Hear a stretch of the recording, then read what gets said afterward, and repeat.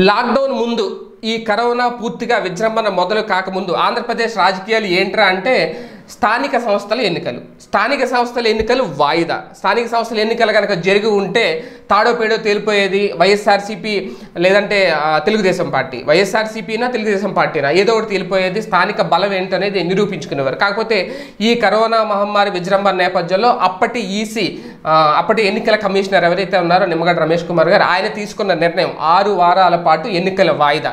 దాని నేపథ్యంలోనే ఎన్నికలు ఆగిపోయినాయి. అయితే మార్చి పదిహేనవ తేదీ నుంచి పదిహేనవ తేదీన ఈ ఎన్నికల వాయిదా పడింది. అప్పటి నుంచి ఆరు ఆరు వారాలు అంటే ఏప్రిల్ ఇరవై ఐదు వరకు ఈ ఎన్నికల వాయిదా గడువు ఏదైతే ఉందో ఆ గడువు అయితే పూర్తయిపోయింది. అయితే ఇప్పుడు ఏం జరగబోతోంది? ఈ లోపల ఎన్నికల కమిషనర్ కూడా మారిపోయారు. ఆయన ప్లేస్లో కనగరాజన్ వచ్చారు రిటైర్డ్ జస్టిస్. అయితే ఇప్పుడు ఒక పక్క ఆయన్ను తప్పించడం అది రాజ్యాంగబద్ధంగా జరగలేదు అనేది ఆయన కోర్టులో కేసు వేయడం కూడా జరిగింది. దాని మీద వాయిదాల పర్వం కొనసాగుతుంది విచారణ కూడా కొనసాగుతుంది. ఇప్పుడున్న నేపథ్యంలో పాత ఎన్నికల కమిషనర్ విధించిన ఆరు వారాల గడువు అయితే ఏదే ఉందో అదైతే ఆల్రెడీ పూర్తయిపోయిన పరిస్థితి.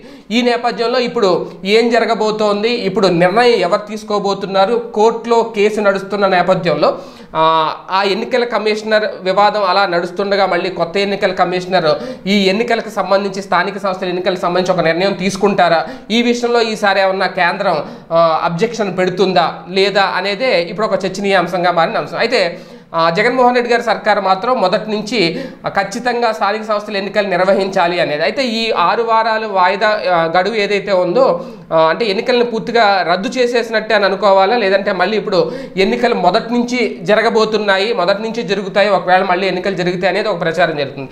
అంటే ఇప్పుడు ఎన్నికల కోడ్ అనేది కంప్లీట్గా లేదు.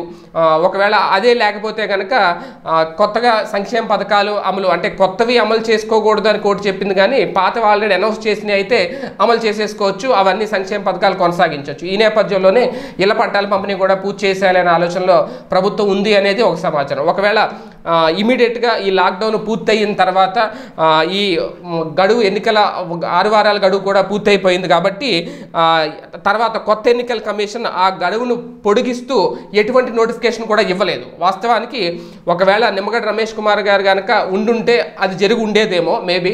అందుకే ముందస్తు జాగ్రత్తగా ఆయన తప్పించారా ఏంటి అనేది కూడా మొదటి నుంచి ప్రతిపక్షం చేస్తున్న ఒక ఆరోపణ. వాస్తవానికి ముంద ఈ గడువును పొడిగిస్తూ ఆరు వారాల గడువును పొడిగిస్తూ ఎటువంటి నోటిఫికేషన్ ఇవ్వలేదు అంటే చట్టపరంగా తీసుకోవాల్సిన ఏ చర్య కూడా తీసుకోకపోవడం వల్ల అలాగే సాంకేతిక పరంగా కూడా చూస్తే పాత కమిషనర్ ఇచ్చిన ఎన్నికల నోటిఫికేషన్ పూర్తిగా రద్దయిపోయింది అనేది మళ్ళీ ఇప్పుడు కొత్తగా ఎన్నికల షెడ్యూల్ ప్రకటించాలి అనేది. అంటే ఒకవేళ అదే జరిగితే కనుక ఎన్నికలు మొదటి నుంచి మొదలు పెట్టాలి. మరి అది అదే జరుగుద్దా? లేదంటే ఈ లోపల ఏమన్నా మార్పులు చేర్పులు వస్తాయా?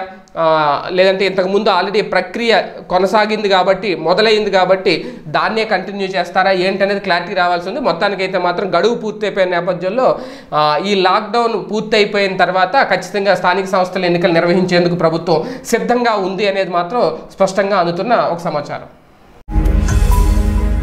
ఈ వీడియో గనుక మీకు నచ్చినట్లయితే లైక్ చేయండి షేర్ చేయండి. మరిన్ని వీడియోస్ కోసం మా ఛానల్ను సబ్స్క్రైబ్ చేయండి.